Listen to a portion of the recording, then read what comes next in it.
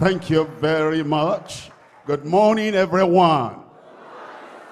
God bless you. This time, the time to have anointing. The kind of anointing that breaks every yoke in your life. Every yoke in your family. Every yoke in your local church. And every yoke in your denomination. And that means we're ready to change.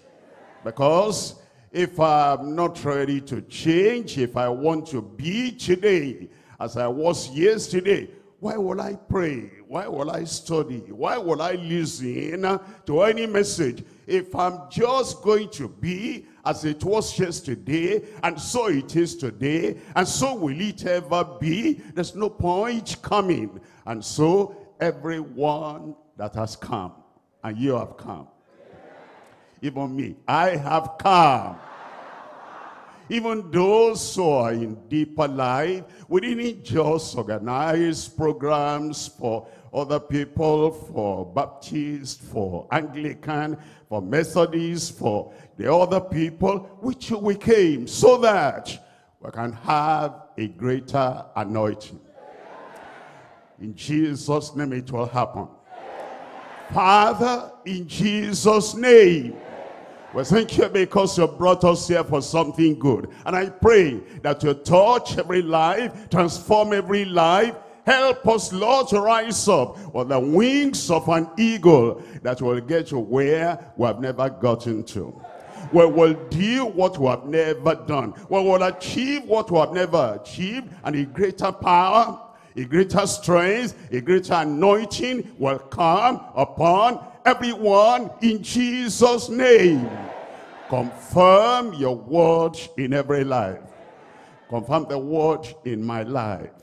Confirm the word in my own church. Confirm the word in all the churches and ministries represented there this morning in Jesus' name. Well, thank you because we know it is done. In Jesus' name we pray. God bless you. You can sit down. These uh, three days, today, Monday and Tuesday, we'll be talking of the anointing. We'll cover such ground that you will, by the grace of God at the end, say, now I can do what I could not do. I can go where I have never been. And I can achieve the things that have been difficult in the past. Today, we're beginning with understanding true anointing for a transforming ministry. Number one, you have a ministry. Number two, you want that ministry to be impactful. You want that ministry to transform lives. And it says, we're having this anointing for transforming ministry. And then is the true anointing. There's false anointing. You know, some people feel if I can shout, if I can run on the stage, if I can do some drama, then something will happen. That's not anointing. Anybody can do that. We can do that with a natural talent. We can do that with a natural skill. We can do that with the training on the athletic field. We're not here for jumping and running. We're here for the true anointing. Now, understanding it. It's what you understand that you will embrace. It's what you understand that you will believe. It's what you understand you will apply. It's what you understand you will measure. You will gauge. If you understand something, then you'll say, from my activity, from my performance. I gauge what I do with what I understand. And you can tell whether they match or not. So we need to understand true anointing so that we can have a transforming ministry. We're looking at 1 Samuel chapter 16. I'm reading from verse 6. And it came to pass when they were come that he looked on Eliab and said, Surely The Lord's anointed is before me. Anybody can make a mistake if Samuel could make a mistake. The Lord had told him, go choose and go to the house of Jesse. And one of the children there will carry the anointing and become the king over Israel. As Eliab came, looking at the stature, looking at the physique, looking at his standing, and looking at his posture. He says, surely there's no doubt here, the anointed of the Lord is before me. If we're allowed to choose leaders in the church, leaders in a nation, leaders in the, you know, in the among the people of God, we always make mistakes. That's why it's very dangerous for us to choose leaders by voting. For us to choose leaders by, like they choose in the world. Like, you know, want to have the next president of a Christian association, like CAN want to have the next president of a Pentecostal body like PFN. And then some people go around, you know, I've been, I've been waiting for this job. This is my time. I've been waiting for this. This is my time. And we have some, even people who are not as spiritual as Samuel, they come together. And because we have something in our pocket that they give us, we say, that's the man. And we use bold face. That will be the wrong man. Give me a good amen. Even Samuel said, the anointed of the Lord is before me. God said, no, look at verse 7. In verse 7, it tells us, but the Lord said unto Samuel, look not on his countenance. Looks like that's what you'll be looking at. Well, look at they're standing, they're dressing, and their approach. And God said, don't look at that. And then it says, no, on his height. That's what people look at, of his stature. Because I have refused him. Suppose you choose somebody and you wrongly place, proclaim the anointing on him. And God said from the beginning, I have re refused him. And you said, I cannot go back on my word. I need to, I need to protect my self-esteem. I need to protect my honor before the people. What will they think of me? When I said, this is he. And then I come back to say, I'm sorry. What kind of leader will they call me? When you're too much protecting your own personality, protecting your own honor, protecting your self-esteem, you say, let it be, let it be. Because I, want to protect what I've said. I said, that is the man. And we ruin the church. That's what the church has done for centuries. But Samuel understood. And Samuel said, the kingdom is not mine, the kingdom is his. It says, the people, the nation is not mine, the nation is his. And if God has said, I don't want to put that man on my nation, on my kingdom, on my people, who am I to say that I'm protecting anything? And then God said, because the Lord sees not as a man seeth for man looketh on the outward appearance, but the Lord looketh, tell me, on the heart. The heart must be changed if you are going to be a leader. If you carry on with the heart you are born with, if you carry on with the heart that you have been living ways all your life, not born again, not transformed. A heart that is still the natural heart, the stony heart, the stubborn heart, a heart that is wayward, a heart that you cannot see the evidence of the touch and the transformation of God on that heart. God looketh on the heart. And so they waited, you know the story. And eventually David came and God said, that is the man. A council did not sit together to evaluate to find out, God said, this is the man. You must find out if you have been chosen as a minister. And some people have gathered together and they put you there. Did we hear the voice of God saying, this is the man? Or are we just there because somebody put us there? Because somebody thinks we ought to be there? Because my mama said, I would love one of my children to be a preacher, to be a minister. Did God confirm that? We need to understand. This is how David eventually came in. And then we have the proof of the anointing. Look at verse 12. In verse 12, it says, And he said, and thought him, and brought him in. Now he was ruddy and without of a beautiful countenance and goodly to look to. And the Lord said, Arise, anoint him, for this is he. Amen. Amen. David had a testimony. He knew God said. And Samuel had a testimony about him, God said. Jesse had testimony about him, God said.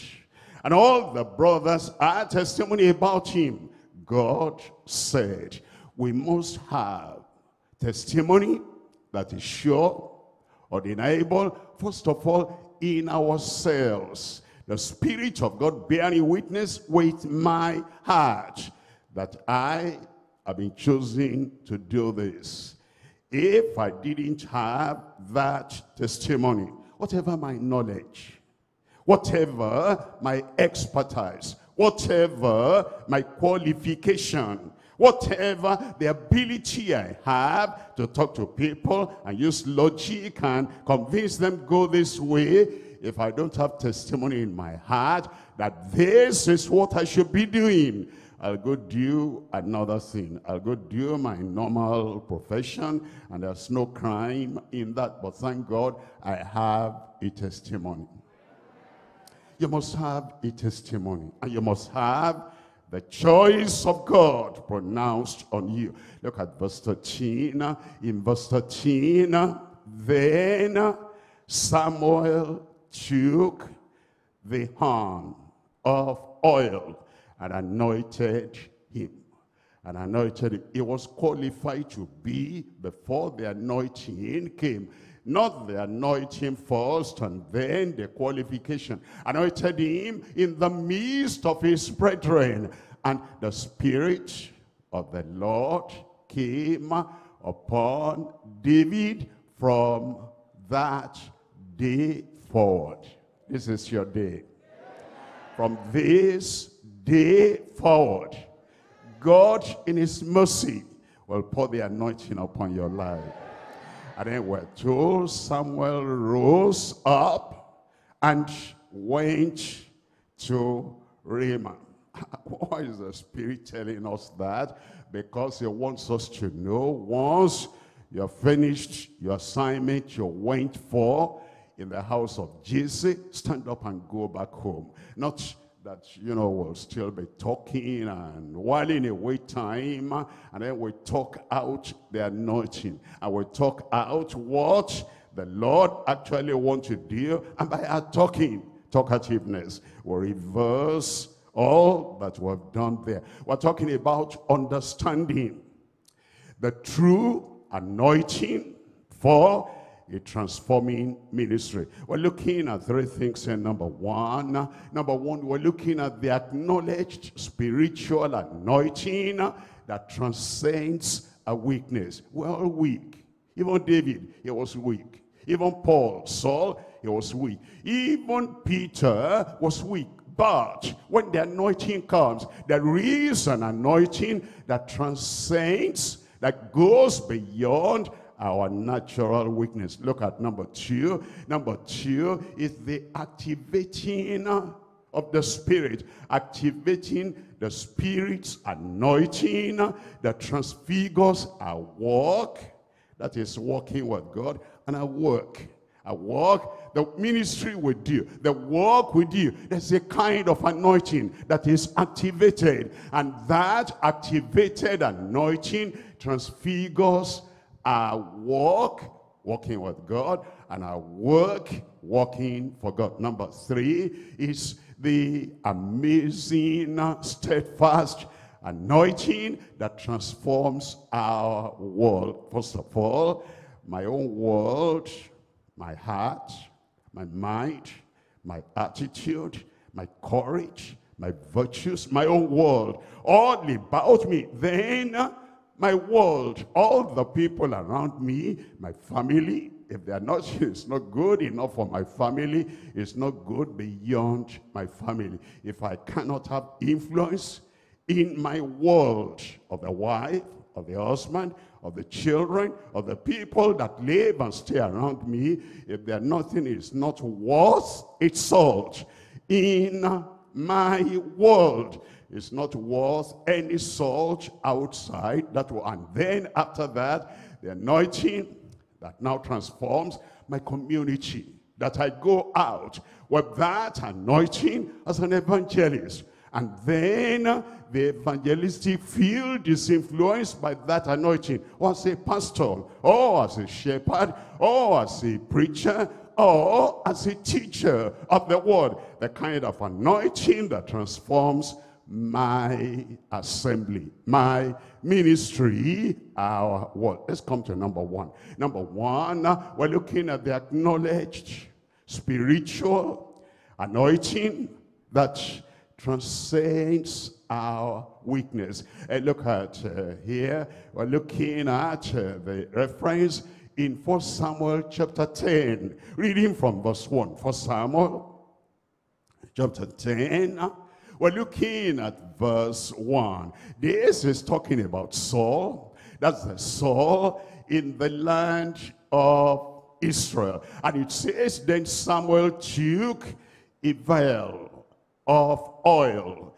and, and poured it upon the head uh, upon his head and kissed him and said, Is it not because the Lord has anointed thee to be captain over his people, over his inheritance. The Lord has spotted out Saul. Before that time, Saul had proved a submissive person to the Father, an obedient man to the Father, a dependable man to the Father, a go-getter before that time, when the father said, go look for the asses, and he went here, he didn't see, go here, he didn't see, we shouldn't go back without achieving anything. The man was a go-getter. And eventually, his servant, he was a listening man. Because the servant told him,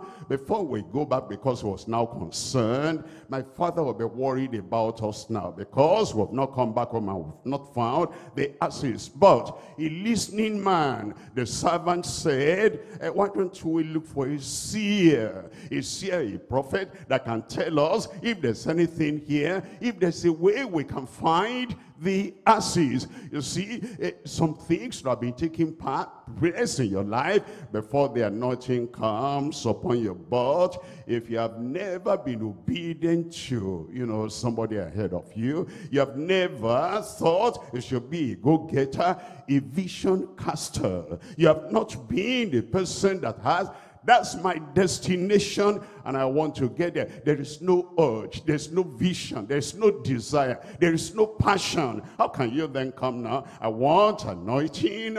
If you're a dead log of wood and you don't want to exercise, I don't want to expend any energy for anything be a go-getter. Understand the Lord has given the great commission to the, to the church. Go into all the world and preach the gospel to every creature. You say, Lord, that's exactly what I want to do, but I'm weak. I want to get there. I want to go there. I want to achieve that, but I am weak in myself. Those are the people that can come to the Lord and have the anointing. And the Lord said, I have anointed him to be captain over my over his heritage over his inheritance. Look at verse 6 in verse 6 we're told and the spirit of the lord will come upon thee and thou shalt prophesy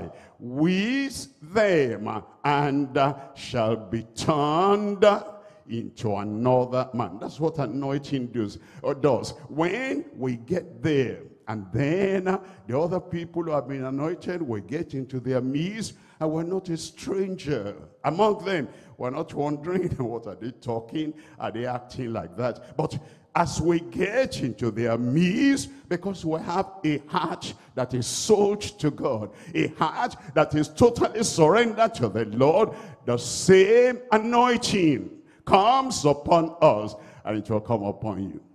And then it says, you will be turned to another man. Another man. That is, if you were weak before, the anointing comes, you'll be strong. If you were confused before, the anointing comes, the Lord will straighten you up. If you were down before, now when the anointing comes, which direction will you go?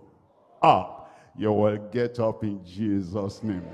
If in the past you're running little and you're tired, you're weary, you are discouraged, when the anointing comes, such strength and such power and such vigor will come upon your life, you're turned to another man. If you were asleep before, that is all you thought about, earthly things, more money, more material things, more property, more land, more of this, more of that. When the anointing comes, you will now fix your gaze on heaven because you are turned to another man. The things of heaven will replace the things on earth. If you are a praise gatherer, you want to gather praise from there, from there, from there.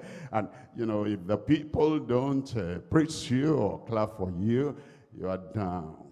If they don't show appreciation, you are down. If they don't say, that was good, we love your life, we appreciate your life, this is great. If they do some lousy things to show you, we don't really appreciate you, you are down for the rest of the day, for the rest of the week when the anointing comes upon you, once heaven smiles on you, you'll be all right. And once God says, that's my man, that's my woman, and that one, I have set him. And he says, well done. Once Jesus says, Father, I praise you because you have hidden these things from the wise and the prudent, but you have given it to this babe in Christ and to this young fellow in Christ, and Christ is happy about your life. You are turned to another man. That is what interests you and it will be turned to another man. Look at verse 9. In verse 9, it tells us, and it was so. It happened it will be so. It will happen. It says it was so that when he had turned his back to go from Samuel, God gave him another heart. God gave him, tell me, say that again.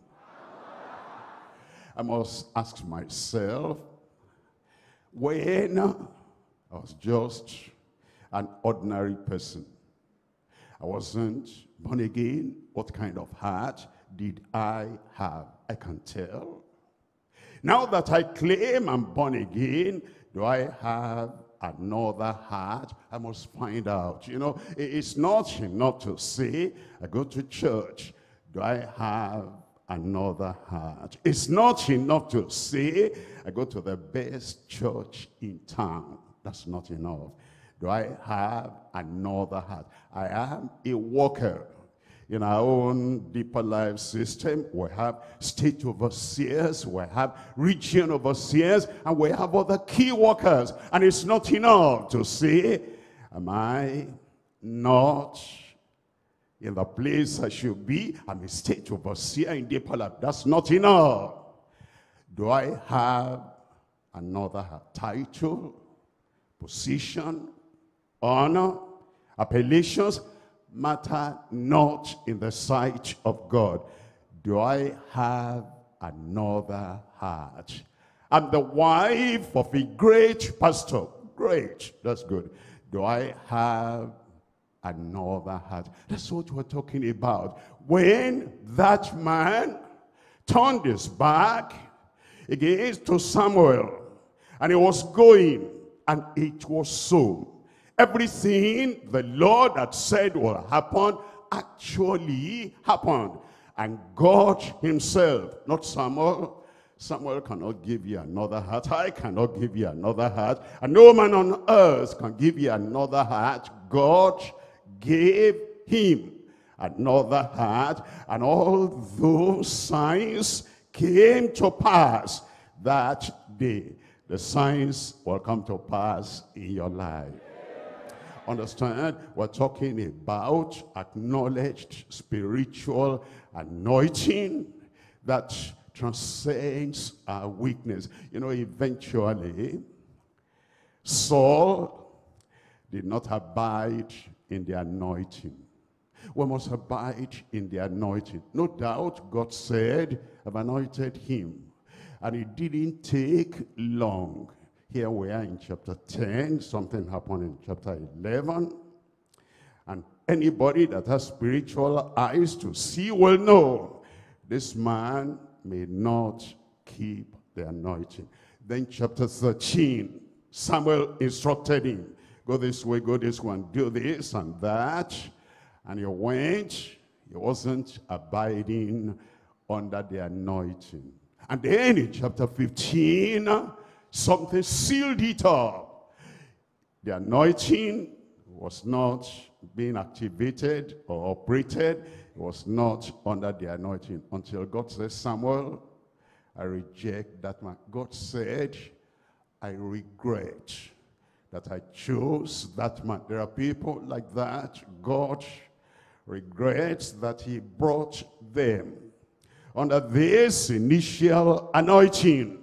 They are not making good use of that anointing. That's how now the thing turned to David. But again, understand, David had the anointing not because he was strong. He was weak. The anointing was to help him transcend his weakness. But is the day for any minister to think, I've got this now, I've got this now, I've got the position, I've got the authority, I've got the leadership, and then he thinks the natural weakness is no more there. And he just go here, go there, go there, and before you know what, it will be clear to everybody. Look at this man, the anointing is no more on him. It will be clear to everybody, look at this woman, the anointing, she has position, she has the calling, and she has the prestige that people give, but the anointing is not on this woman. I want you to look at First Chronicles, First Chronicles chapter 11, what, sorry, uh, First Chronicles chapter, chapter, uh, Second Samuel chapter 3, we're looking at verse 39. Second Samuel chapter 3.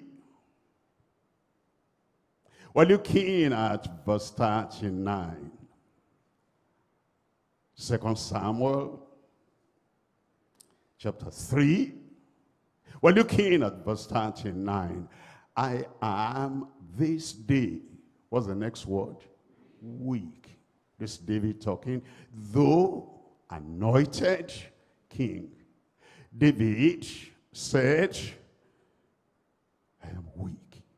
That was his natural weakness. And he carried that weakness on in his life. And he said, though I am anointed king, and these men, sons of Zeruiah, be too hard for me. The sons of Zeruiah are too hard for me. David, not really, not really. Solomon will deal with them, will deal with Joab. Your weakness is your if of own making. That you cannot deal with people according to the word of God. There are some, you know, good preachers, effective preachers. But when it comes to obeying the word of God on Joab, no. They're weak. They cannot do that the anointing does not function in carrying out the word of God on people like Joab, on Absalom, my son, my son, Absalom. And Joab had to say, King David, what are you doing? You're so weak and you're so sentimental. Look at this rebel. And look at what he would have done if we didn't rise up to save your life. would have been dead by now, my son, Absalom. If you don't get up and overcome that kind of weakness, the whole of Israel will forsake you. And then he brushed up and wiped away those uh, tears, sentimental tears. And he came before the people weak. There's weakness in everyone. They cannot deal with issues of the word of God.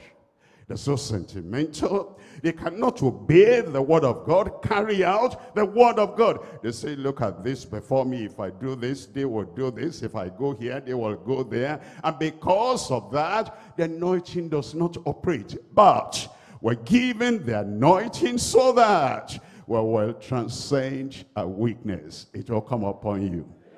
That's why we need to understand the anointing. I look at my life and I say, what am I afraid to do of what the Lord has committed into my hand?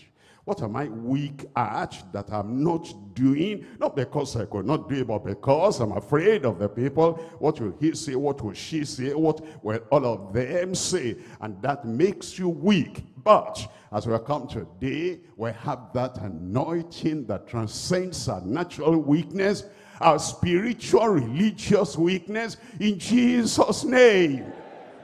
I go to different places and I preach. And sometimes when I'm to preach, I see things that the word of God will not approve of.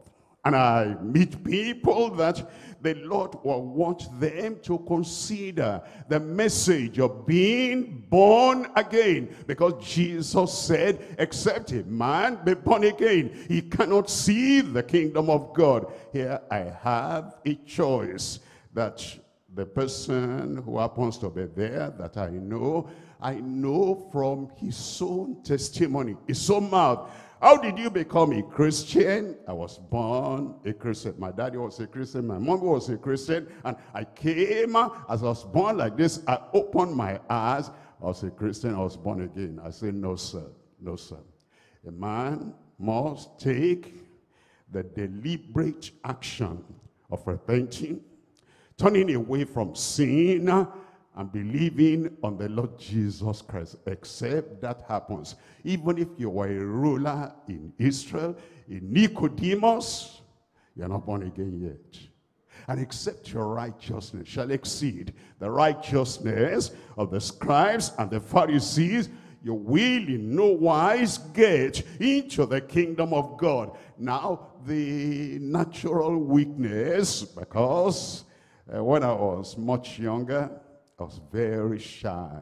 I couldn't look at the faces of people. And I couldn't tell them, I will know this man is not, you know, the right thing. And this lady is not doing the right thing. But I would dump my head. But the anointing came. I said the anointing came. And now he turned me to another man. I still respect people. I honor people. I, you know, give them good, good titles, which they bring before me. But I'm not shy now. I'm not afraid now to tell you. Should I be afraid of you?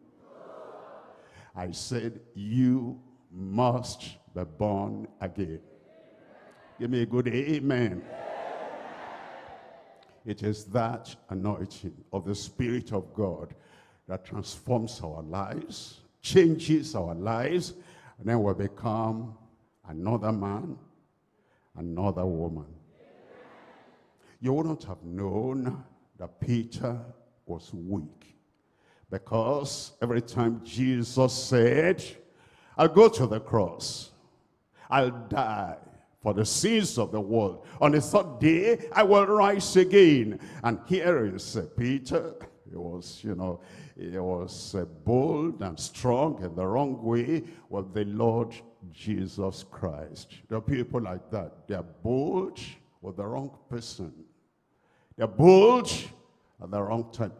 It will not happen to you. And Jesus said, Peter, go behind me because you know not the things of God, but the things of the world. And eventually, when Jesus Christ was taken, arrested, Peter threw out, uh, drew out his sword and said, that while I'm here, you will not take my master. You will think the man was strong. And Jesus said, Peter, you're not using the anointing.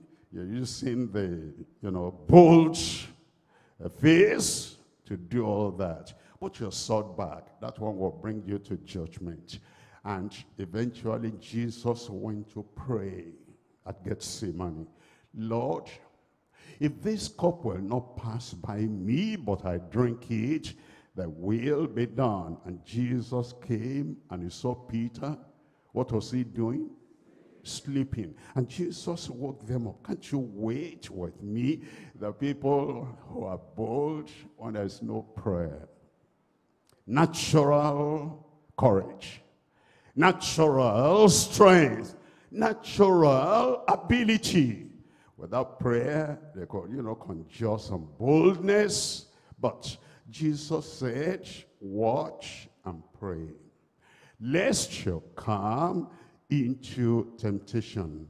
The spirit indeed is willing, but tell me, you're weak, weak, weak. And nobody would have thought about that. Do you think Peter was weak? when he walked on the sea. How would you think Peter was weak when he drew the sword? If a man can fight with natural weapons, how do you think the man was weak until a lady came and said, you must be one of them. Didn't I see you in the garden? And his weakness now showed up. We need the anointing. He said, I know not that man was pointing to his Lord, that man was pointing to Jesus, that man.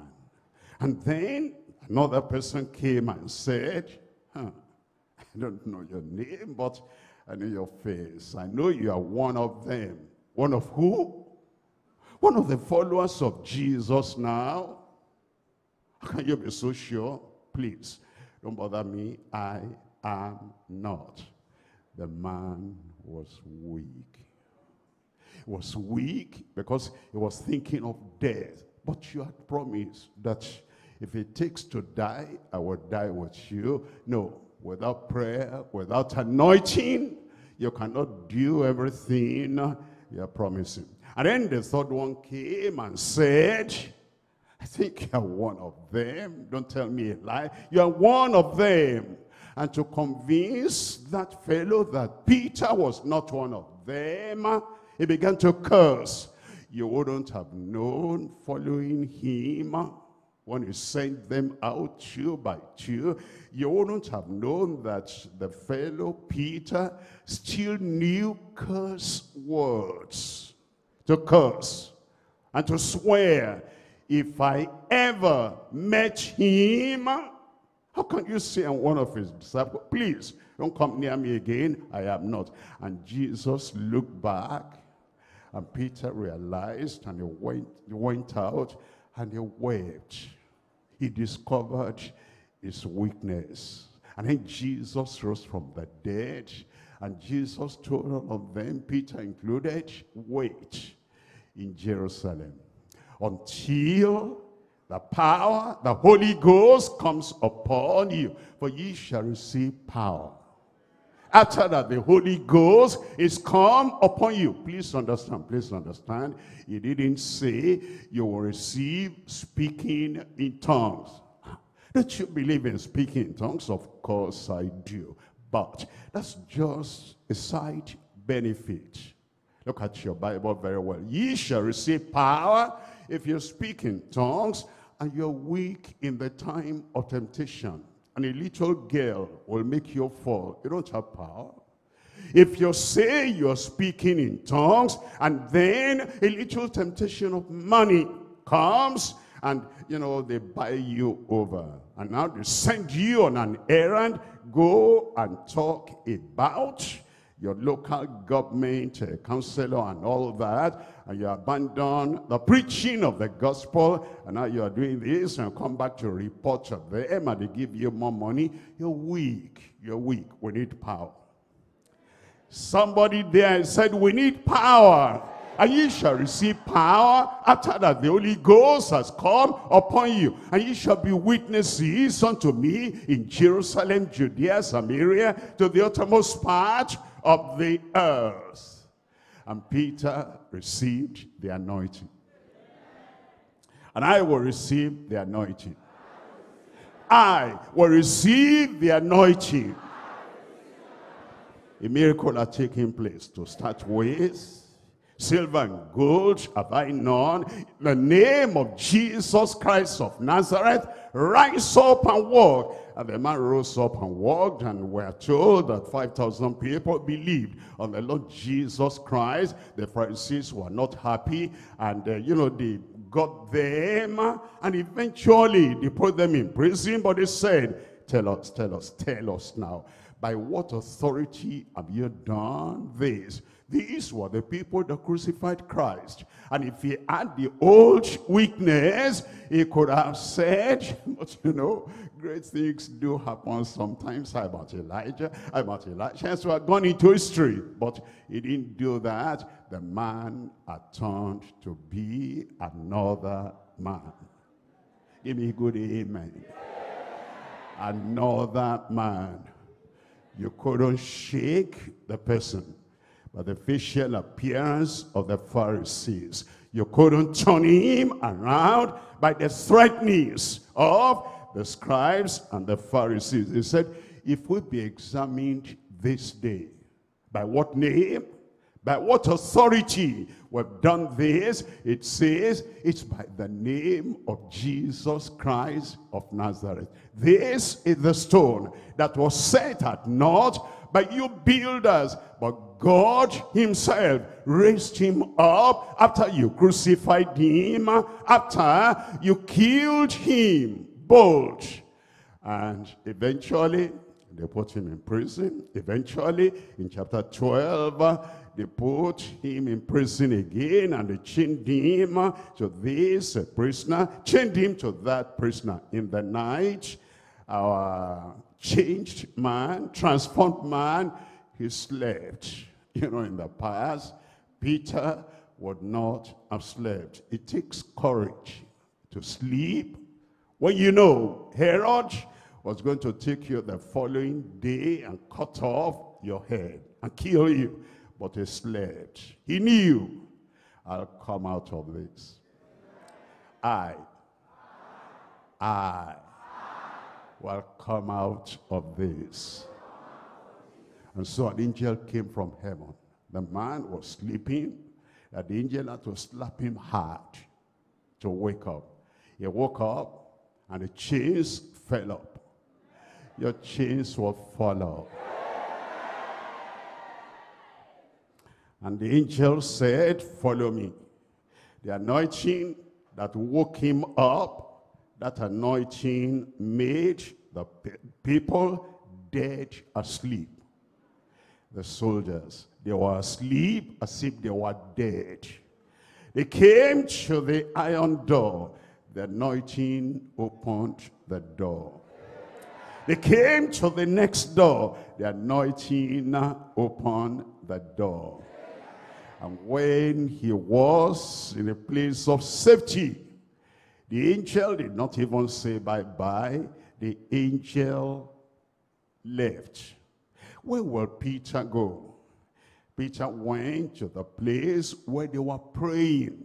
Did he know they were praying? No. The anointing will guide you. The anointing will lead you to the right place, the right people, at the right time. Eventually, you know the story. Herod missed him. Herod will miss you. They will search for you everywhere. If you have the anointing uh, that transcends your weakness, you'll not be the same anymore in Jesus' name. Isaiah chapter 10. I'm reading from verse 27. Isaiah chapter 10. We're reading from verse 27. And it shall come to pass in that day. You know, God always has a day for the one he's going to use. I'll have a day for you. And this could be that day.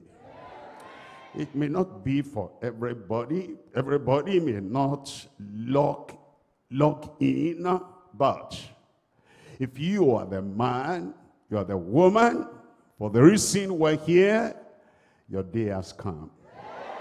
It says it shall come to pass in that day that the burden shall be taken away from off that shoulder. Somebody wants to run a race and he has half bag of cement on this shoulder, half bag of cement on the other shoulder, and a bag of cement is tied to his back. And he wants to run with other people that don't have any weight on them. Can he compete with them? No. Many of us have weights on our mind. We have weights on our shoulders. We have weights in our families. We have weights in our local churches. And as we're dragging on and dragging on, we're conscious of the weight of the load at our back. But when the anointing comes, all that load will be lifted. Other people have loads of condemnation, loads of guilt, loads of every time they want to jump at something and do it, the enemy will remind you, you of all people. You want to jump, you want to run. You're saying, Pastor so and so is doing it at his age. I am going to do it. This one is doing it at an age. I'm going to do it. This is the message you've heard. I'm going to get up and I'm going to run. And then the devil will bring the load of guilt and the load of condemnation and the load of pain and pressure. Then the load weighs the person down. But today is the day to break that yoke. To take off that load. If you're serious with the Lord and you understand the weight, the load must be taken away. And it says it will be taken off your shoulder. And then it says off thy neck. Off thy neck. Off thy neck. Uh, sometimes we don't understand. Here comes David. And David said, Goliath, I'll get him. And, um, you know, Saul said, let me hang this on you. In his own case, his own coat. Maybe in your own case, somebody's chain. Maybe in your own case, it's, you know, what they have been using Daddy said, you know, in this land, I've been here before you, before you were born. You need this. And they hang it on you. And that thing becomes a weight, a load. But today, that thing that is hanged on your neck, the anointing will take it away. The devil recognizes. He knows when he sees us, he doesn't just look at us on the outside. He looks at what is hanged on us. He looks at what is on our back. He looks at what is on our nature. And it is there that needs to be broken. It will be broken today in Jesus' name. And his yoke from off thy neck, and the yoke shall be destroyed. Because because, because, no other reason. If in your life you've discovered the things that impede your movement, the things that slow you down, the things you are up, you are down, the things that make you to go two steps forward and three steps backward. If you discover that, it's the anointing that comes upon us to transcend the weakness that will break everything. Now, you go three steps forward, you'll not go backward. Another three steps forward, you will not go back uh, again. And every day will be a day of progress, a day of increase, a day of multiplication in your life in Jesus' name. We're coming to point number two now. Point number two is the activating spirit's anointing that transfigures our walk and transfigures our work. You've read of Enoch that he walked with God 300 years. You know, I've been reading that. I'm now thinking, uh, how is it before Jesus came that Enoch was able to walk every day, every week, every month, every year, 300 years without sliding back. And I look at the church at large.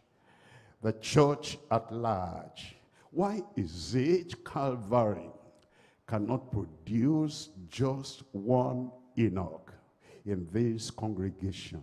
Why is it Christ with his suffering, his sorrow, his death cannot produce an Enoch in a whole nation of the people that walk straight, that walk right, people that walk was the Lord like Enoch a whole year. And Enoch was not confessing sin every Sunday or every Sabbath day. He was not confessing sin every time. That man was saved. He was righteous. He was holy. And Enoch walked with God. I challenge you to come before God and to say, don't talk about your church and don't talk about, you know, many years I came on again, forget about that and say, Lord, and I want to walk consistently in the private, in the public, in my heart, in my mind, openly, secretly. I want to so walk that I'll be like Enoch before the Lord. God can do it. Calvary can accomplish more than what was done in Enoch. I'm looking at Daniel in Babylon. And I'm asking why is it in this large, large church of ministers, of shepherds, of leaders, we cannot find a Daniel in their places of work. We cannot find a Daniel in their families that will stand by the word of God, holy and righteous, not because uh, their pastor is there. Daniel did not have a pastor looking over his shoulder. He just knew, this is who I am, and this is how I am going to live. Why can't the blood of Jesus and the cross of Calvary and the death of Christ accomplish that in our lives? The day has come, he will. I said, he will.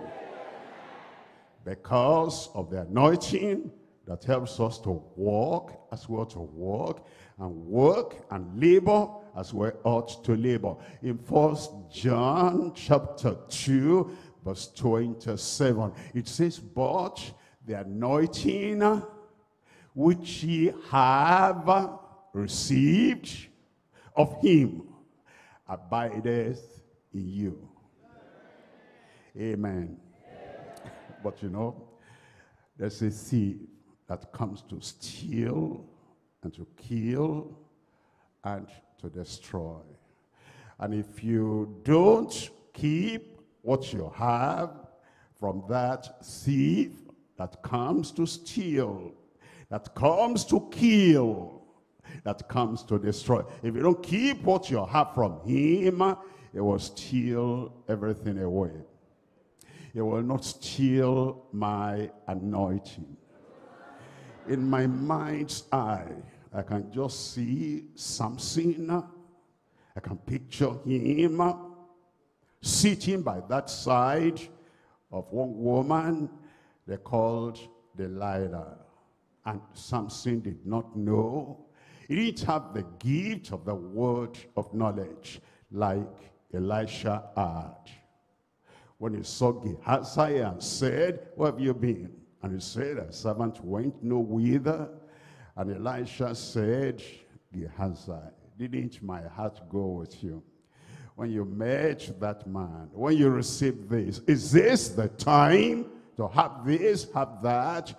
And leprosy came on him. Samson did not have the anointing that will discern that this woman is coming near and near, near, because they want to take my anointing away. God will give you insight. Will give you eyesight.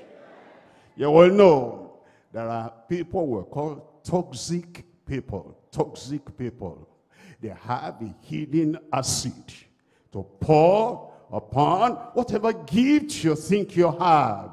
And everything is eroded. But when you have the anointing that can see, when you have the anointing that will know that that is not the way for me, you'll keep the anointing. It says, the anointing which ye have received abideth in you. Didn't abide in Samson. Even David now, look at David. Everybody has gone to meet fulfill their calling.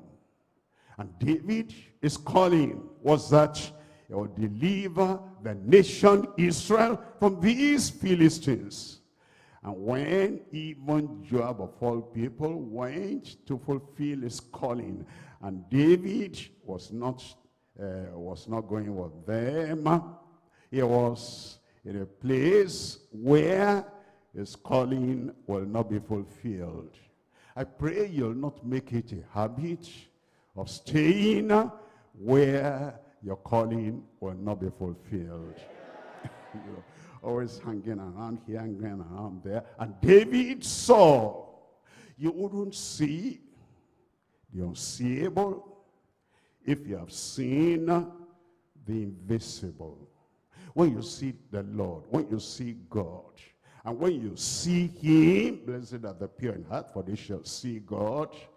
Anything you see after that will not have serious hold upon you. But David saw that woman washing herself.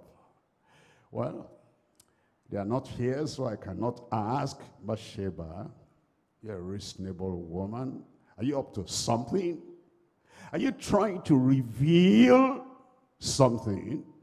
Are you trying to show? Look at the balcony of the king there. You know he might be walking there. And look at where you, you know, make yourself naked. Are you up to something? if I see them when I get up there, because I'm going up there. I said I am going up there. But they are not here to ask questions. And David saw. Well, if you see something accidentally, no big deal. Shut your eyes. That's why we're giving eyelids. To take our eyes away from the sin. That will not make your anointing to abide. But, and then he started thinking about that. It is what you think about that arouses your emotion. If you don't think about it, your emotion will not be aroused. It is what you think about that draws your senses away from you. If you don't think about it, your senses will not be taken from you. And eventually, he took action, wrong action. Remember, Israel is on the battlefield and the king of the army is over here thinking about something that aroused his emotion and sent for her. And eventually, you know what happened. He lost the anointing. And Nathan came to him and said, he told the story. He couldn't even discern that Nathan was talking about it. Dead spiritually, blind spiritually. And then he began to judge. There's some people that judge other people, but they don't have uh, the character to judge themselves. And he said, the man that has done that, this will happen. I thank God for Nathan. I said, I thank God for Nathan. The preachers of today, the prophets of today, they're both leakers. They bench before an adulterous David. They bow before a sinful David. And once they give, they get some whatever, money, property, land. They'll be praising David, but Nathan, once again, I thank God for Nathan. Now, I, I see many people, they say this one is a prophet. I say, true. Says that one is a prophet. I say, true. I say, this prophet, can he go to Nineveh today and say 40 days and Nineveh shall be overthrown? Ah, ah, not that kind of prophet. Can he go today to Pharaoh and say, of all our people, not a hoof are we going to leave behind? No, not kind of, not that kind of prophet. Can they go to Ahab today and say, see what you've done. You've made the whole nation to go after Baal, a foreign god. And your wife is your controller. Your wife is actually the one driving the nation. You have abdicated your throne. We don't have prophets like that today. But thank God for uh, Nathan. He said, thou art the man. And he didn't look down. He looked at his face, eyeball to eyeball. And David said, I have sinned. That's the anointing we need. That will turn leaders in the nation around. That will turn leaders of denominations around. That will turn people, no matter their title, and face them and tell them, thou art the man, thou art the woman. And then a walk with God will be straightforward. The anointing will come upon you. If you are ready for the anointing, it will come. And then you'll go out and you'll walk before the Lord without compromising in Jesus' name. Then he said, ye have no need that any man should teach you. But the same anointing that you have teaches you of all things and is and the truth and is true. And it says, and is and there is no lie. And even as it has taught you, ye shall abide in him. Amen. Look at verse 6. It tells us in verse 6, He that says he abideth in him. You abide in the anointing. You abide in the power. You abide in the outpouring of the Holy Spirit the Lord has given. It says, he that abideth in him ought himself so to walk. Even as he walked, even as Christ walked. You look at his life and you follow after his steps. That was, that's what he has called us to. And that's the anointing he wants to put upon our lives. And he will. In Galatians chapter 5, I'm reading from verse 19 here. Galatians chapter 5. We're reading from verse 19. It says, Now the works of the flesh are manifest, which are these adultery, fornication. Then it says uncleanness, lasciviousness, verse 20. Idolatry. Idolatry. Now here we are in Nigeria. Here we are in Africa. Here we are in the world. You know, there are people, they want messages that they will say, I thought you said GCK is global. Yes, sir. Are you talking about idolatry? You think you are just speaking to the local people here? No, I didn't think like that. How did you read my mind to say I'm talking to the local people here? I'm talking to people everywhere. To start with, a lot of Nigerians in uh, all the countries of the world. And some of them carry the idols of their culture and the idols of their tribe. If you see them, ask them they carry to the place they are. And some of them even have shrines in the local place, in their rooms, wherever they are living.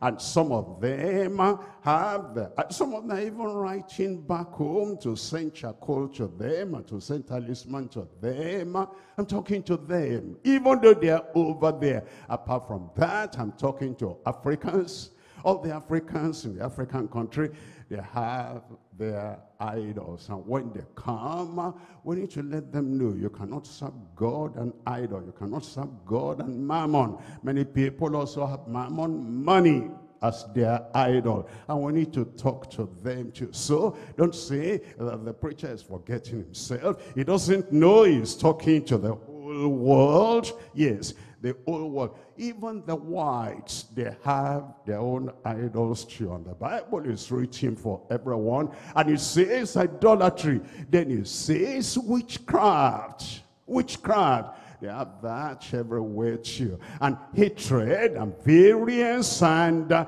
emulations and wrath, anger, fighting, violence, strife, seditions, heresies, verse 21. In verse 21, it says, envies, jealousy. That's everywhere. And murders, that's everywhere. Drunkenness, that's everywhere. Revelings, and such like of the which I tell you before, as I have also told you in time past, that they which do such things Call them by any title. Call them by any name. Call them by any office they hold. They that do such things shall not inherit the kingdom of God. Give me a good amen. And if you have the anointing, you'll tell the people you're preaching to. That's what the anointing does. The anointing does not make us fear the faces of people and fear the actions of people and fear the criticisms of people that now we cannot read the word of God, we cannot preach the word of God. That's not anointing, that's not anointing. The anointing makes us to look at the word, preach the word, apply the word, and call people out of those things they've been doing so that they will turn around and they prepare ready for the kingdom of God. Look at verse 22. It says in verse 22, but the fruit of the Spirit is love, joy, peace, long-suffering, gentleness, goodness, faith. Verse 23, meekness, temperance, the self-control, against which there is no law. Verse 24, it says, And they that are Christ's have crucified the flesh. If you have not crucified the flesh, you are not of Christ fully. If the flesh is still dictating what you do, the flesh is still dictating how you dress. The flesh is still dictating the way you go and the habit you remain by. Then you are, you are not one of his because it says they that are Christ's have crucified the flesh with the affections and lost. I pray all those things will be crucified from our lives. And then the anointing that comes upon us will transfigure our lives, change our lives, and transform our lives completely. Number three now. In number three, we're looking at the amazing, steadfast anointing that transforms our world. The kind of anointing that transforms our world. I pray God will grant us this kind of anointing. Your world, our world will be totally transformed. Look at the case of David. We're coming back to David. First Samuel chapter 16, verse 13. Then Samuel took the horn of oil and anointed him in the midst of his brethren. And the Spirit of the Lord came upon David, as it will come upon you today. From that day forward, from that day forward, from that day forward. And when the anointing came upon him, what did it make him to do? It made him to transform his world, his nation, the people around him. Brought, it, it brought transformation to them. We're going to do something. You write that word transform vertically. T R A N S F O R, tell me, M.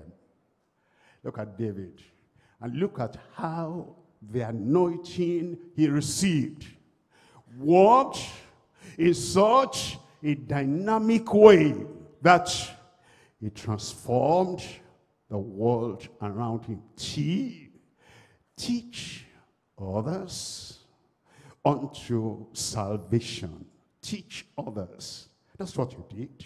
In Psalm 51, I'm reading here from verse 10. Create in me a clean heart, O Lord, and renew a right spirit within me. Look at verse 11. In verse 11, it says, Cast not away from me.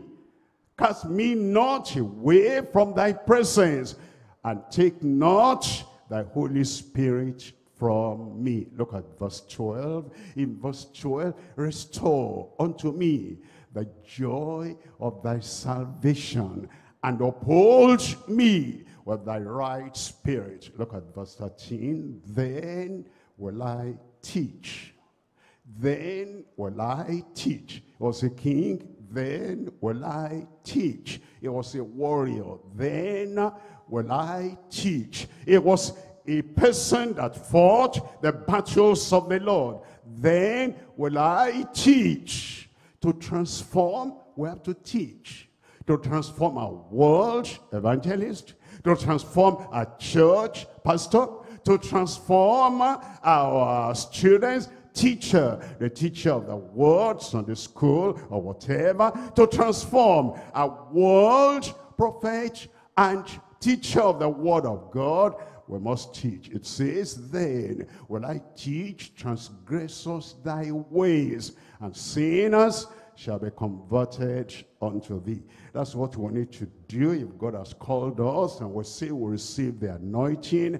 The anointing makes us to teach. R is to relieve suffering slaves from Satan's spirits. That's what the anointing did when that anointing came upon him. And look at uh, 1 Samuel chapter 16. Uh, we've read verse 13. Let's look at verse 23 now. In verse 23, and it came to pass when the evil spirit from God, permitted by God, was upon Saul, that David took an uh, harp and played with his hand. So Saul was refreshed and was well, and the evil spirit departed from him. That's what the anointing does. When the Lord has given you the anointing and people have stress or distress, demonic possession or demonic attack, your ministry if it's of singing, if it's of playing instrument, if it's of um, counseling, your gift will release them, relieve them. T to teach, R to relieve sovereign slaves from satanic spirit. They were talking of A, ascertain the security of the sheep ascertain the security of the sheep. That's what the anointing is for. And that is part of the transformation that we're supposed to carry out. That's what David carried out in 1 Samuel chapter 17, verse 34. 1 Samuel chapter 17, verse 34. David said unto Saul, Thy servant catch his father's sheep. And there came a lion and a bear and took a lamb out of the flock. Verse 35. In verse 35, and I went out after him, after the lion, after the bear, and smote him and delivered each the lamb out of his mouth. And when he arose against me, I caught him by his beard and smote him and slew him. You know, if the anointing is just to shake when we pray, that one doesn't transform anybody. If the anointing is run out, run in, and leave the stage and run into the congregation and, you know, shake your head and everybody watch what's a preacher doing. That one doesn't transform anybody, but the anointing that ascertains that you deliver the sheep and you give them security in the Lord. That the anointing uh, that transforms people's lives. God will give that to us. The next letter is N, and is to nurture the sick back to health and strength. The anointing, what it does, first of all, it keeps you healthy and it keeps you strong. It keeps you strengthened. That's what the anointing does. If the anointing doesn't revitalize a body, that the Spirit of Christ, the Spirit that raised up Jesus Christ from the dead, abides in you and then quickens your mortal body and makes you strong, where's the anointing? And then after you yourself, you're healed, you're healthy, you're strong, you're sound, then you also bring that same health and soundness to the people you need so that the sick become healed and they become they become sound. That you'll find in first samuel chapter 30 reading from verse 11 to verse 18 and s s is telling us about you show the sheep the sufficiency of the shepherd. That's what David did. That's how the anointing transformed his ministry and transformed the people in his domain. And he said he taught them. And he's still teaching us today because he's showing the sheep the sufficiency of the shepherd. It says, the Lord is my shepherd. I shall not want. You will not want. Look at verse 2. It says, He maketh me to lie down in green pastures. He leadeth me beside the still waters. In verse 3 it says, He restoreth my soul. And then he leadeth me in the paths of righteousness for his name's sake. In verse 4 it says, Yea, though I walk through the valley of the shadow of death, I will fear no evil. You will fear no evil. The anointing makes us to show the sheep in our flock, the sheep in our local church, the sufficiency of the shepherd, that they have so much confidence in the shepherd, they are not running here and there. And it says, I will fear no evil, for thou art with me. Thy rod and thy staff, they comfort me. In verse 5, it says, though, it says, thou preparest a table before me in the presence of mine enemies. Thou, thou, thou anointest my head with oil and my cup runneth over. That's the assurance we give to members of our church when we have the anointing. You're looking for, how do I preach? What message do I preach this coming Sunday? Look for a message that will teach. A message that will relieve them from the oppression attacks of satanic power. A message that will give them assurance and they ascertain the security of the sheep Give them the message that will nurture them and nourish them. A message that will give them the sight to show the abundance, the sufficiency of the shepherd. Look at verse 6. Surely, goodness and mercy shall follow, shall follow me all the days of my life, and I will dwell in the house of the Lord forever. That is how we make use of the anointing that transforms. And uh, F is to feed the souls with scriptural sustenance. Feed with scriptural sustenance. In Psalm 78, it tells us, verse 70. Psalm 78, verse 70. He chose David also, his servant, and he took him from the sheepfolds, verse 71, from following the ewes, great with the young. And then it says, he brought him to feed, to feed, to feed Jacob, Israel, the nation, his people, and Israel is inheritance. Look at verse 72. In verse 72 it says, So he fed them. That's our duty. And we do that by the anointing that transforms. We have to feed the people according to the integrity of his heart and guided them by the skillfulness of his hands. Jeremiah chapter 3, we're reading from verse 15. Jeremiah chapter 3, verse 15.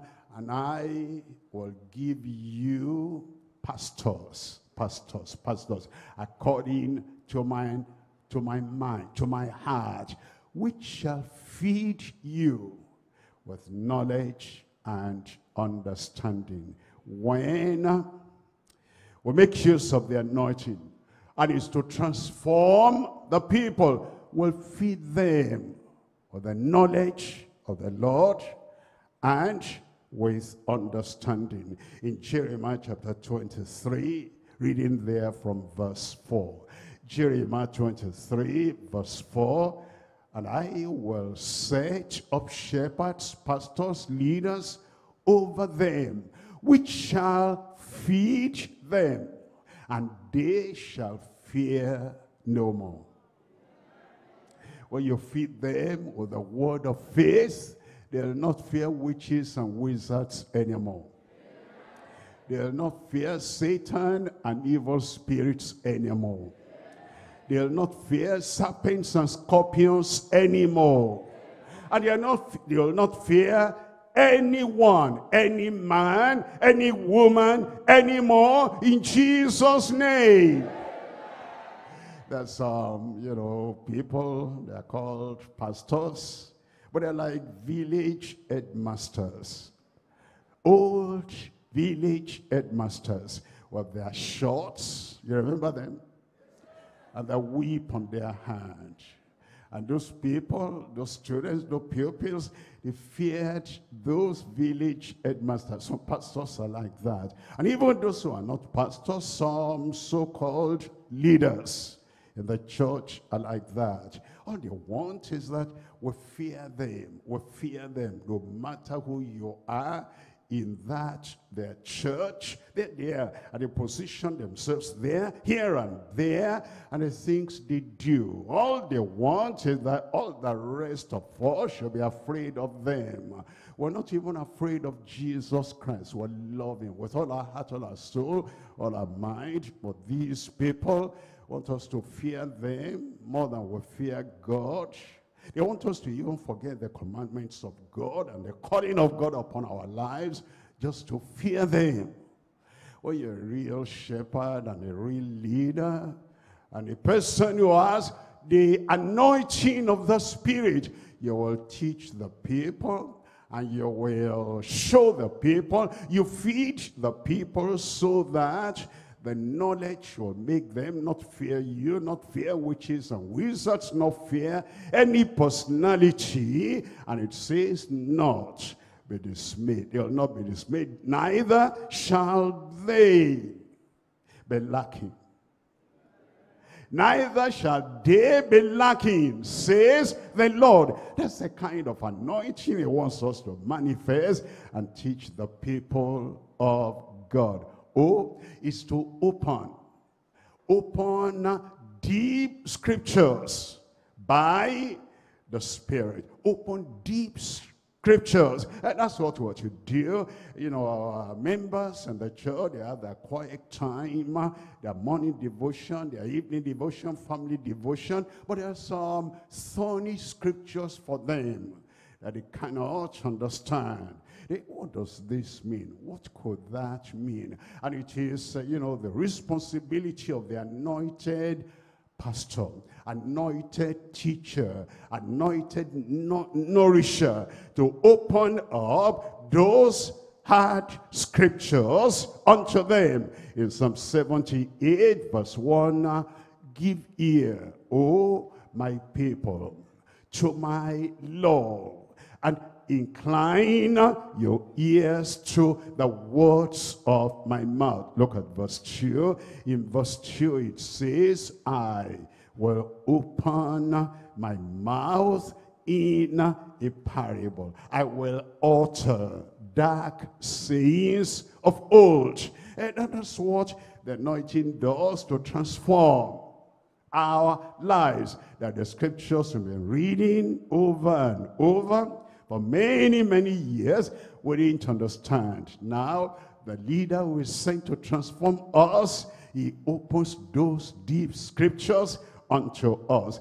In Matthew chapter 13, reading from verse 34. Matthew chapter 13, verse 34. It says, all these things spake Jesus unto them, unto the multitude in parables, and without a parable speak he not unto them. Look at verse 35. In verse 35, that it might be fulfilled, which was spoken by the prophet, saying, I will open my mouth in parables, I will utter things which have not been which things have been, have been kept secret from the foundation of the world. And that's what we want to do. We're now standing in the place of Christ. We're not Christ, but we're following him and we're following his ministry. We're walking in his steps so that we open the hard, hard scriptures to our congregation. R is to reveal the sovereignty of the Son. Reveal the sovereignty of the Son. So that the people were making use of the anointing to reach. There is no doubt in their mind about who Christ is. That he is the sovereign King of kings and Lord of lords. Were to reveal the sovereignty of the Son. Look at Psalm 2. In Psalm 2, we're reading from verse 6. It says, Yet have I set my King upon my holy hill of Zion. This is Psalm of David, and it's talking about Jesus, the Son of God. In verse 7, it says, in verse 7, I will declare the decree. The Lord has said unto me, unto his son, Thou art my son. This day have I begotten thee. Look at verse 8. In verse 8 it says, Ask of me, and I shall give thee the heathen for thine inheritance, and the uttermost parts of the earth for thy possession. That's what the anointing does. The anointing makes us to reveal the sovereignty of the King of Kings, the sovereignty of the Lord of Lords, the sovereignty of the Son of God. And Jesus said, except you believe that I am he, you cannot be saved. Emma, this is what the anointing makes us to do, to magnify the Savior and to minimize self to magnify the Savior and to minimize self. The anointing comes upon us and we make use of that anointing and the anointing makes us to exalt the Lord and then to minimize ourselves. It does that and we're able to go forth and say, this is he he is not the Savior, but the Lamb of God, the Savior. That's the Savior, that he may increase and I may decrease. The Lord do that through us in Jesus' name. Looking at Psalm 40, we're reading verse 17. Psalm 40, sorry, Isaiah, Isaiah 40 verse 17. It says, But I am poor and needy, for the Lord thinketh, but the Lord thinketh, yes, the Lord thinketh upon me. Thou art my help and my deliverer. Make no tarrying, O my God. That psalm, now we're going to Isaiah chapter 40, verse 17. Isaiah chapter 40, verse 17. All nations before him are as nothing, and they are counted to him less than nothing and vanity. You know, that's what a leader with the anointing does. He magnifies the Lord. He minimizes self.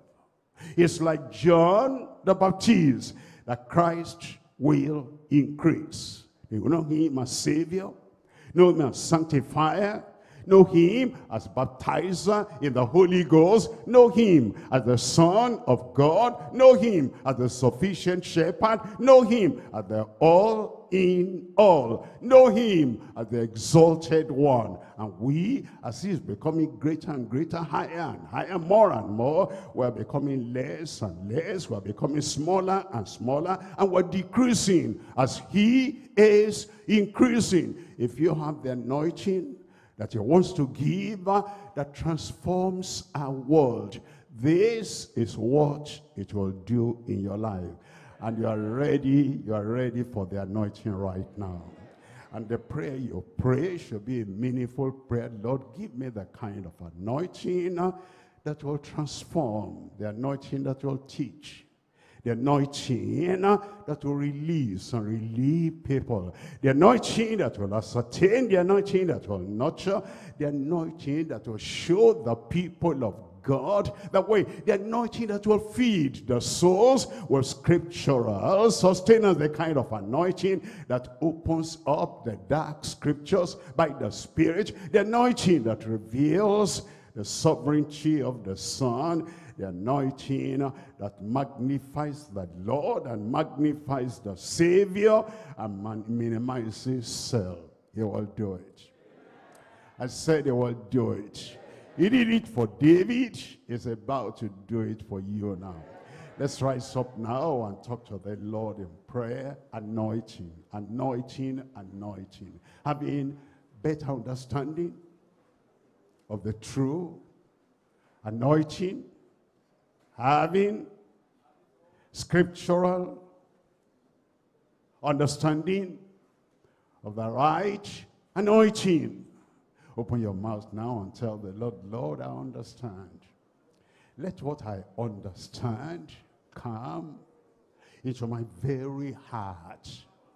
Let what I understand be written on the table of my heart. What you understand you believe. What you understand is what you apply. What you understand is what you pray for. Anointing. The anointing that transcends your weakness. Have you discovered your weakness? You can have such anointing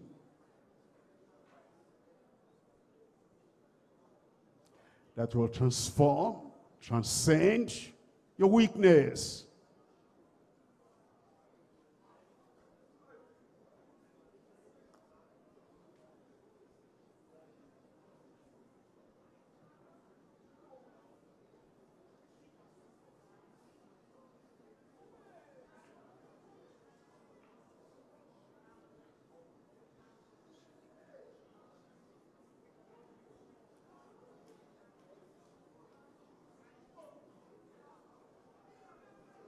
Weak.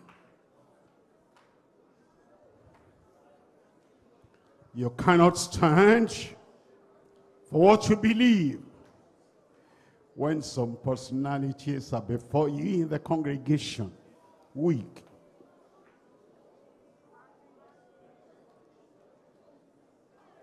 You cannot handle Joab.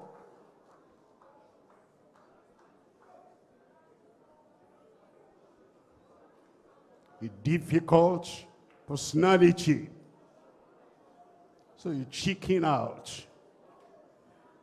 I can't handle that man. I can't handle that wife, that woman. So you compromise your stand. Weak.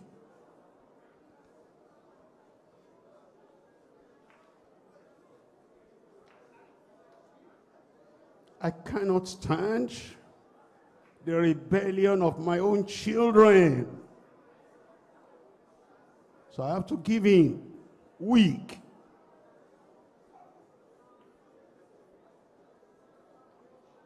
It's the anointing that makes you transcend your weakness.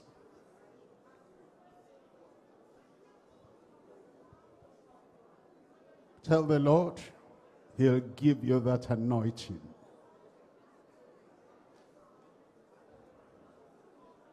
It's the anointing that transfigures our walk and our work. Remember, when Jesus was transfigured on the Mount of Transfiguration.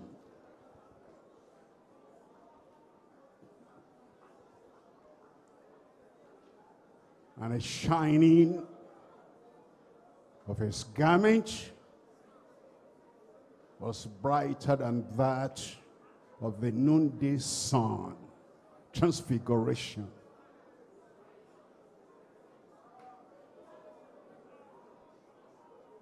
There can be an Enoch today, a Daniel today, who will walk, not faint, run, and not be weary. Walk in the way God has appointed. And no stranger in your life will come and make you waver.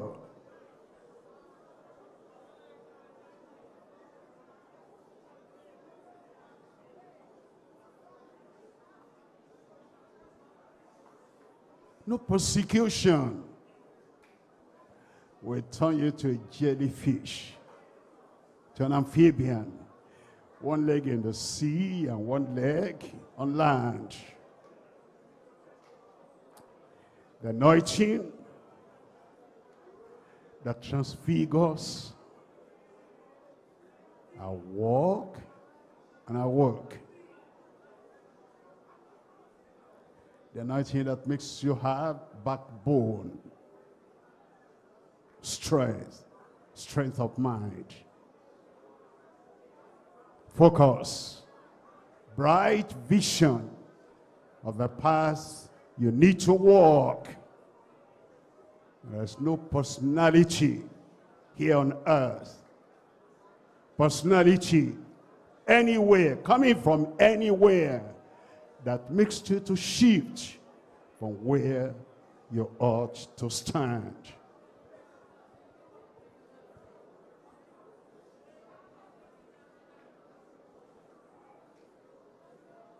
Anointing anointing.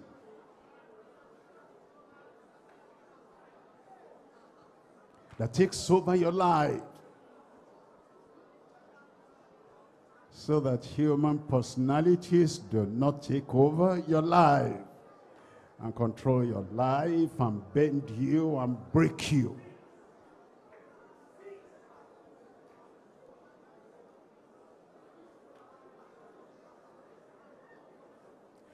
The anointing that transforms our world. And we need such anointing today. Otherwise, we will leave our world the way we met our world. The world was crooked before we came. If we don't have this anointing that transforms our world, After we're through and gone, the world, our world will still be as crooked, as corrupt as the world before we came.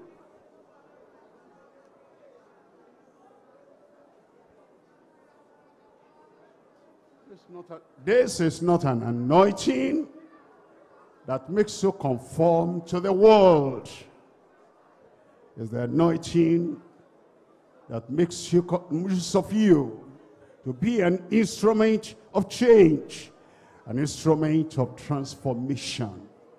The amazing, steadfast anointing that transforms a world. You receive the anointing today.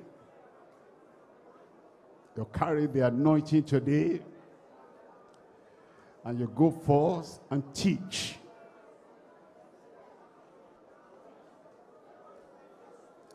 You won't allow error to pass by you. Teach.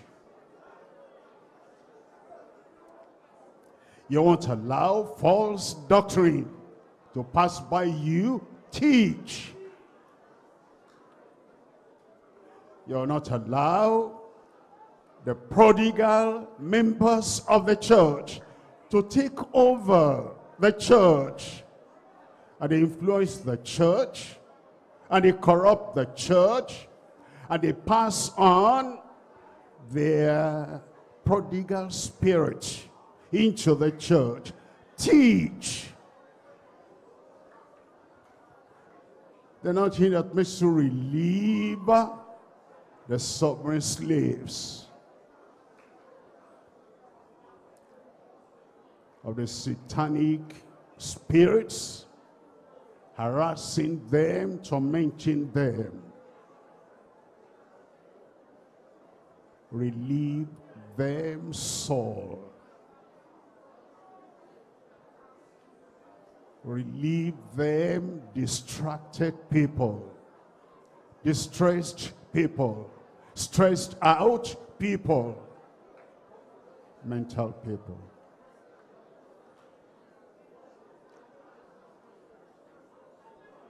As you carry the anointing, ascertain the security of the sheep. If the sheep fear the lion and you fear the lion, are you going to ascertain their security?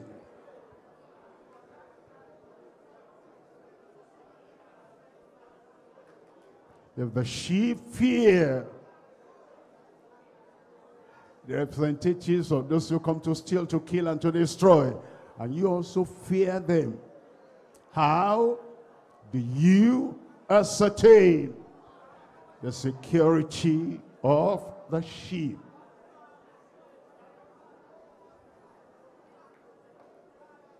Nurture the sick back to health and strength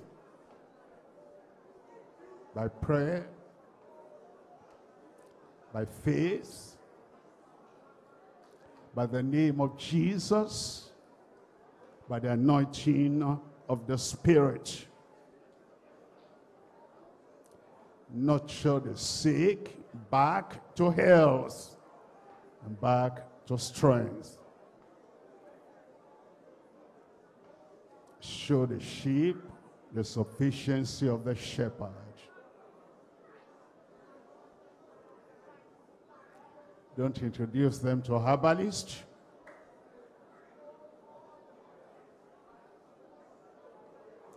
Don't introduce them to foreign powers. Lift their mind, lift their heart unto the Lord a sufficient shepherd. That's what the anointing does. Feed the souls with scriptural sustenance. Feed them. Feed them. Feed them until they're free from fear. Feed them until they fear no man in the church or in the world. Feed them until they fear neither Satan nor man. Feed them.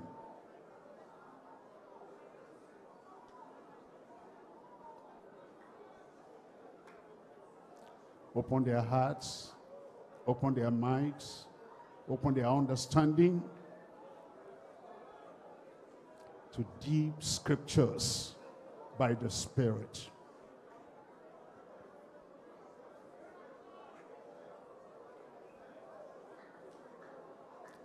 Reveal to them the sovereignty of the Son. They know the Son, they have the Son, they believe the Son, they have everything. The Son of God,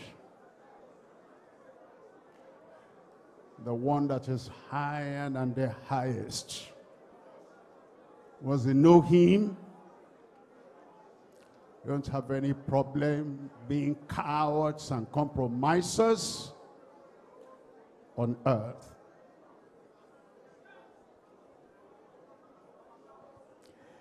Magnify the Savior.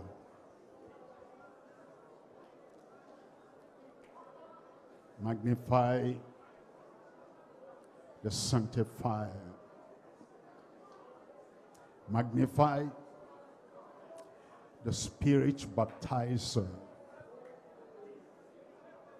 Magnify our shepherd.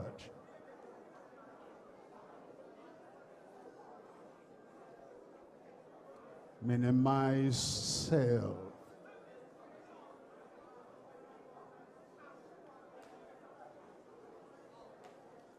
Minimize self.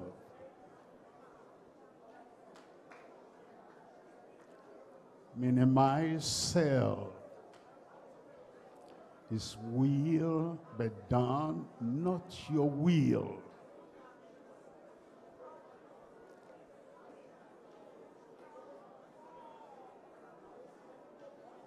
His way, not your way. His authority over his church not your authority. Minimize self.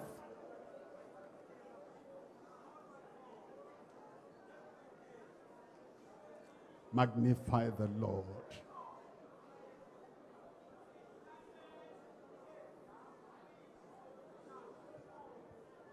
Anointing. Anointing. anointing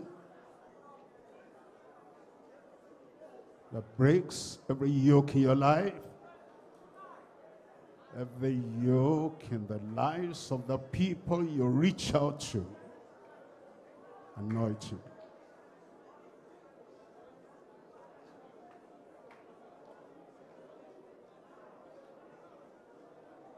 In Jesus' name we pray.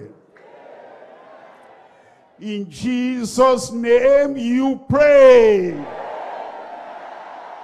And I pray scriptural anointing, great anointing, irresistible anointing will come upon your life in Jesus' name. And the anointing will not just make you shake and make you shout and make you do whatever. This anointing will transcend your weakness. It will transfigure your walk and your work. This anointing will transform the world around you. Amen. Amen. Amen. And everywhere you go, you live, you talk, you stand, you behave, you act like another man. And when the things that you to push you down, the things that make you that made you tremble in the past. And the things that made you cower and collapse in the past, those things will come now, you will stand. What's the person I'm talking about? The Father, in Jesus' name. We bless your name today for this fresh understanding, for this new understanding, for this higher understanding of your anointing upon us in Jesus' name. Take the garment of weakness away from everyone and put on us the robe of righteousness, the garment of authority, and the jacket of power in Jesus' name. Your own mantle, like the mantle of Elijah fell on Elisha, your own mantle upon us today. Lord, let it bring fire. Let it bring fervency. Let it bring focus. Let it bring the power that stands before the enemy and we'll just be looking at the enemy and one look will rout the devil. Conquer the devil. And all those Dagons that will come near the ark of the Lord. Tomorrow morning when the people wake up, that Dagon has fallen down. And if they don't understand that we have that new anointing and they set up their Dagon again, even without us saying anything, the following morning, their Dagon will be broken in pieces. Lord, I command all your people that they walk now in this way with the new anointing. Gideon, rise up. Gideon, go forth. Be a valiant man. Be a valiant woman. And go in this, thy strength, thine anointing, and be transfigured figured before the people in Jesus' name. Let power go with you. Let supernatural strength go with you. Let this new anointing go with you. And as you come back, even between today and Monday, have a striking testimony. Go where you have never gone. Do what you have never done. Say what you have never said. The time comes in your life when like Joshua, you stand and you look up at the sun and you say what nobody has ever said. Sun, stand. Moon, stand. And when you say what nobody has ever said, what you have never said, the anointing will carry out the command. Preach. Teach Release the oppressed. Assure those who are wavering. Nurture the people who are malnourished. And show the people the sufficiency of the Lord. Feed all the people you meet with balanced food of the scriptures. Open their eyes to see from the scriptures what the Spirit is giving today. Help them and reveal Jesus that they're all in all. The sovereign King of kings and the sovereign Lord of lords. Magnify him. Magnify him. And his power will be magnified in your ministry. The anointing will increase your ministry magnify him and Satan will be minimized in your ministry. Magnify him and all the powers of darkness will fall and collapse and be minimized in Jesus' name. Let the weak say, let the weak say, With the anointing now upon your life, you are no more weak. I am strong. I am well. Say, I am well. I am sure. I'm going out and you're going with victory. Be a conqueror as you go. Thank you, Lord, because we know you have answered. In Jesus' name we pray.